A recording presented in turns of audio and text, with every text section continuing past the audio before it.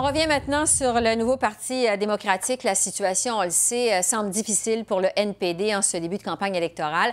Des sondages laissent croire que le parti est dans une spirale descendante, notamment au Québec, où des observateurs croient euh, qu'il pourrait être carrément balayé de la carte électorale le 21 octobre.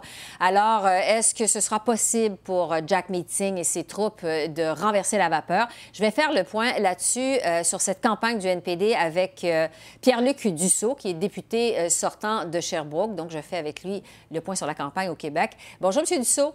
Bonjour. Bon, d'abord, un mot euh, sur euh, votre circonscription, Sherbrooke. Euh, vous faites face à quand même une compétition qui est assez intense. Trois adversaires qui sont connus dans la région la libérale Elisabeth Brière, conservateur Danny Sévigny, le bloquiste Claude Forgue. Est-ce que vous ramez très fort? comment ça va, votre campagne? Beaucoup de porte-à-porte? Ça va bien? Comment ça va? Oui, ça va super bien, en fait. Euh, puis toutes les campagnes, c'est important qu'il y ait des bons candidats dans tous les partis. C'est ça, la démocratie. Donc, euh, je suis très heureux d'être euh, dans cette campagne pour défendre mon bilan des huit dernières années, montrer aux gens que j'ai travaillé fort pour, le, pour les gens de Sherbrooke. Puis la réponse que j'obtiens, que ce soit au téléphone, aux portes ou dans les différentes activités auxquelles je participe ces derniers jours, c'est une excellente réponse. donc, les gens sont satisfaits de mon travail. Les gens veulent que je continue. puis m'incitent donc à, continuer sur le bon travail que j'ai effectué. Puis, ultimement, ben, nous, on souhaite gagner cette élection-là avec un gouvernement du NPD. Et puis, c'est on mise tout euh, sur ça. Puis on est confiant, on est optimiste, on, sait qu'on a le meilleur plan, la meilleure vision pour le Canada. Et je suis sûr aussi que j'ai la meilleure vision pour les gens de Sherbrooke pour l'avenir. Donc, euh, j'entends que des, que, des bons, euh, que des bons mots. Alors, tout va bien de mon côté. Un bureau de campagne toujours actif. On joint plus de 500 personnes par jour. Donc, la réponse est excellente. Pour ce qui est de la campagne du NPD au Québec, de façon générale, d'abord, un mot sur les candidats. On sait que le NPD a éprouvé des problèmes de recrutement en début de campagne.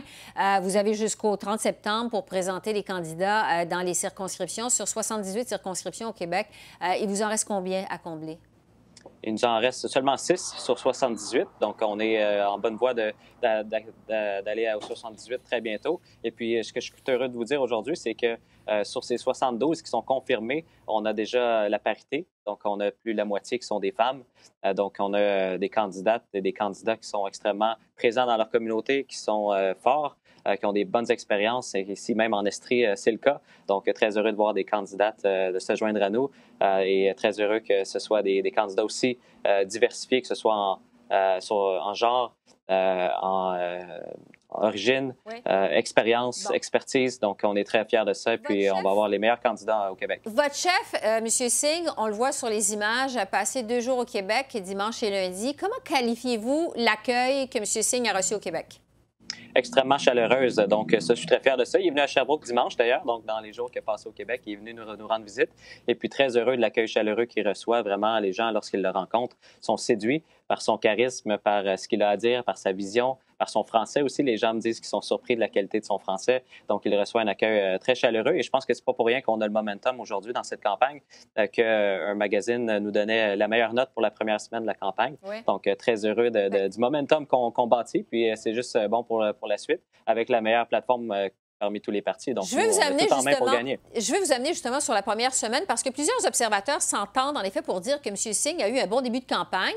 Euh, pourtant, euh, il y a un sondage Ipsos qui était publié hier dans la presse qui plaçait le NPD à 8% dans les intentions de vote au Québec, euh, ce qui pourrait laisser présager sa disparition de la carte électorale québécoise. Comment expliquer que la bonne performance de M. Singh ne se reflète pas dans les sondages jusqu'à maintenant? Bien, je pense que ça s'en vient. Il faut être patient avec ça. Puis nous, on est confiants que avec notre message, avec notre vision, avec le charisme de notre chef, avec euh, la façon dont il fait campagne. Il est tellement près des gens, puis euh, il va se battre vraiment pour chacun d'entre nous. Euh, le, monde ordinaire, lui, c'est ça qui, qui, connaît, c'est ça qui est. Et puis, donc, on est confiant que ça va remonter. Puis, nous, on est très optimistes dans tout ça. On sait que les campagnes peuvent changer du jour au lendemain. il reste encore 35, ben, un peu moins que 35 jours. Donc, tout est possible. Puis, on le sait, en 2011, c'est nous qui avons profité à la dernière minute d'un vent de changement. Et puis, en 2015, ce sont les libéraux. Puis, cette année, on est confiant que c'est nous qui vont en profiter et que les gens vont réaliser qu'on a le meilleur plan pour, pour le pays et puis vont se joindre à nous euh, au, fil du temps d'ici la fin de la campagne le 21 octobre où c'est le vrai sondage qui va avoir lieu. Oui, c'est ça. Vous parlez de 2011 quand même. Euh, on semble être loin de la vague orange de 2011. Là. Bien, on était à 12 dans les sondages euh, en début de campagne en 2011. Je peux, je peux en témoigner. Euh, j'étais candidat, puis euh, on n'avait pas beaucoup d'attention au début de campagne. Mm-hmm. Et puis, tout le vent a tourné. et puis, c'est possible. Dans les élections, que ce soit provinciales, fédérales ou même municipales, on voit des revirements de situation importants. Et puis, nous, on est optimistes, on est confiants avec le meilleur, la meilleure plateforme qu'on pourra convaincre les Canadiens de se joindre à nous pour, pour nous donner un gouvernement et enfin montrer que il n'y a pas juste dans les provinces qu'on peut gouverner le NPD, mais aussi euh, sur la scène fédérale. Il reste encore euh, quatre semaines et plus à cette campagne. Euh, Monsieur Scheer participait à un rassemblement public hier à Sudbury, en Ontario. J'entendais une journaliste qui lui a fait remarquer que ce qu'elle entend sur le terrain à propos de votre chef, de M. Singh, c'est qu'il semble vraiment être une bonne personne, euh, que ce qu'il propose est bon, mais que les Canadiens ne sont pas prêts à élire un premier ministre qui porte un turban. Est-ce que c'est ce que vous entendez de votre côté sur le terrain au Québec? Je l'ai déjà entendu, donc pour être bien, bien franc avec vous, c'est mm-hmm. vrai, on l'entend, mais je pense que c'est une minorité euh, de, Canadiens qui, euh, qui pensent ça et on est confiant de pouvoir allier la majorité sur, sur, notre plateforme, sur notre vision, au-delà des apparences.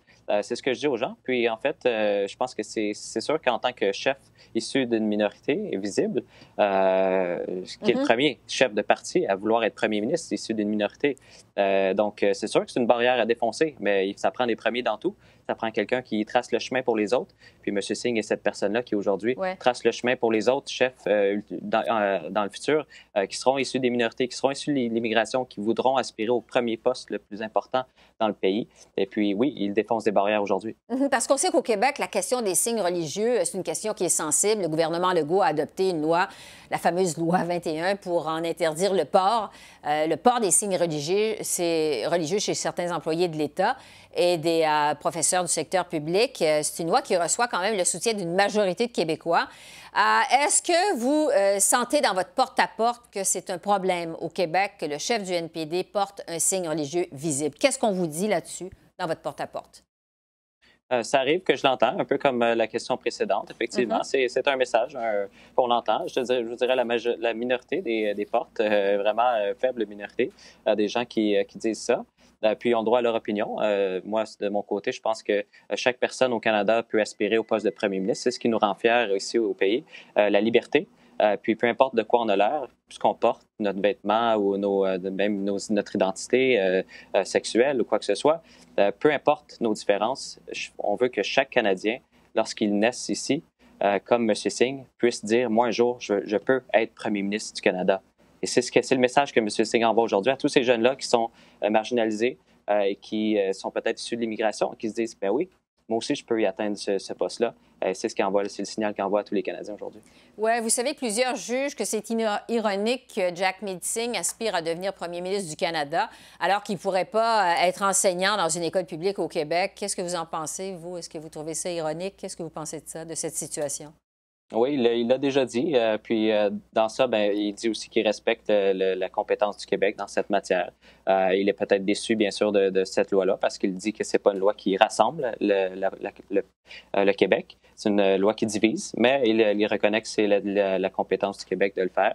Et puis, c'est toujours ce qu'il dit, même s'il peut être déçu, effectivement, que cette loi-là peut envoyer le signal que certains, certains jeunes aujourd'hui euh, qui veulent aspirer à des postes importants dans notre, euh, dans notre société euh, se voient mettre des barrières dans leur chemin. Oui, parce que le NPD, il faut le rappeler, s'est engagé à ne pas empiéter la compétence du Québec en la matière. Effectivement, c'est la compétence du Québec. Elle agit dans ses, dans ses droits à l'Assemblée nationale. Donc, ils ont adopté une loi tout à fait dans leur, dans leurs droits. Euh, ils sont élus, euh, tout comme euh, moi et tout comme tous les députés à la Chambre des communes. Donc, ils ont le droit d'adopter les lois qu'ils souhaitent. cela étant dit, on a le droit d'avoir une opinion aussi sur cette loi-là. Et puis, donc, il le partage, mhm. mais il reconnaît que c'est dans les droits du Québec de le faire. Oui, il a déjà dit que cette loi le rend triste lorsqu'elle a été adoptée par l'Assemblée nationale au Québec. Euh, à part Sherbrooke, M. Dussault, on surveille aussi euh, d'autres circonscriptions au Québec euh, où le NPD, évidemment, veut soit. Ben, j'allais dire sauver les meubles, mais disons, veut faire élire ses candidats, notamment à Rosemont, où le co-chef du NPD, Alexandre Boulris, se bat également pour garder sa circonscription. Il y a aussi Berthier-Masquinongé, où Ruth Hélène Brosseau se présente à nouveau.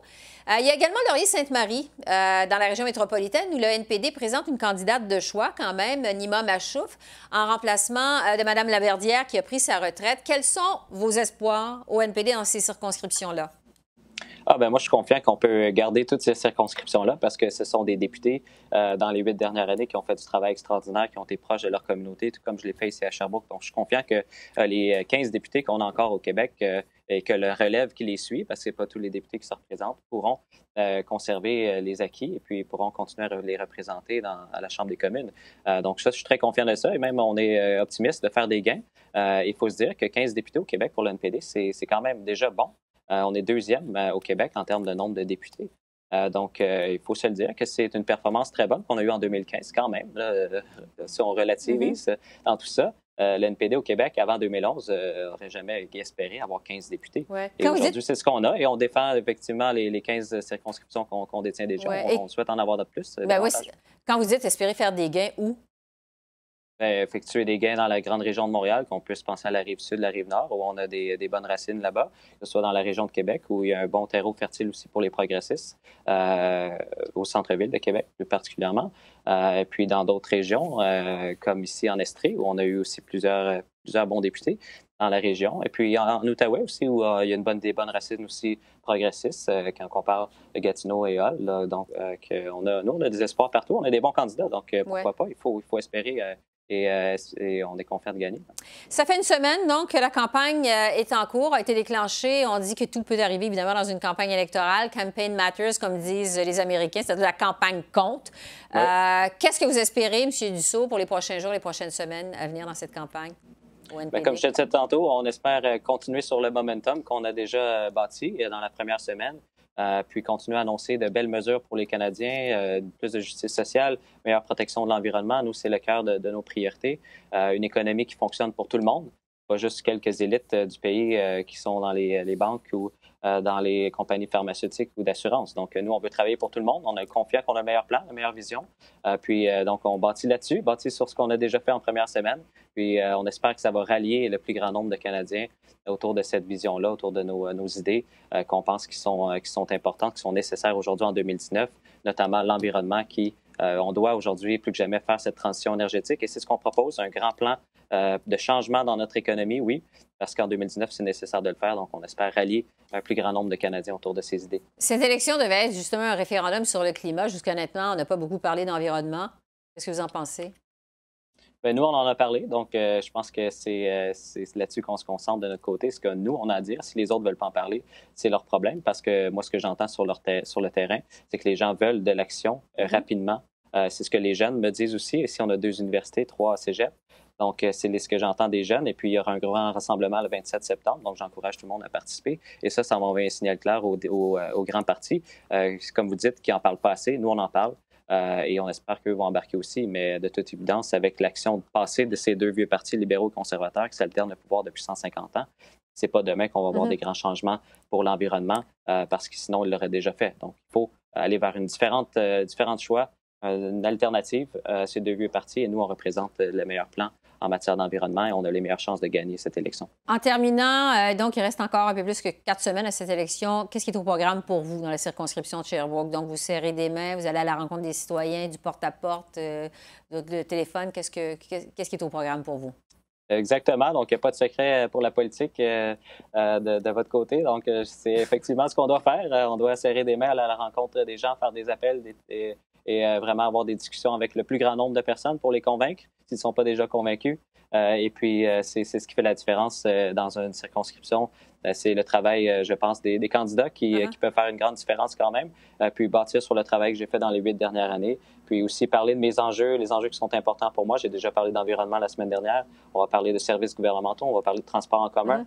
Uh-huh. on va parler aussi de gestion de l'offre dans notre région. Donc, nous, c'est nos priorités. Puis on espère allier le plus grand nombre juste ici même à Sherbrooke et faire peut-être boule de neige vers tout le reste du Canada euh, pour euh, convaincre euh, le plus grand nombre encore une fois. En tout cas, vous semblez garder le moral, vous, Pierre-Luc Ben oui. Tout à fait, très optimiste euh, par de nature et puis je suis toujours en campagne. Puis euh, nous, on carbure à ça. Hein. Des policiers, il faut aimer les, campagnes électorales. Alors j'adore être, euh, être, sur le terrain puis avoir une belle équipe autour de moi, un beau local de campagne toujours actif. et puis ça, c'est ce qui me fait, ce qui, ce qui fait vivre les politiciens, c'est les campagnes électorales, non? Donc, on va vous souhaiter une bonne poursuite de cette campagne électorale. Merci d'avoir pris de votre temps précieux pour nous parler ce soir. Merci beaucoup. Ça fait plaisir. À la prochaine. Au revoir.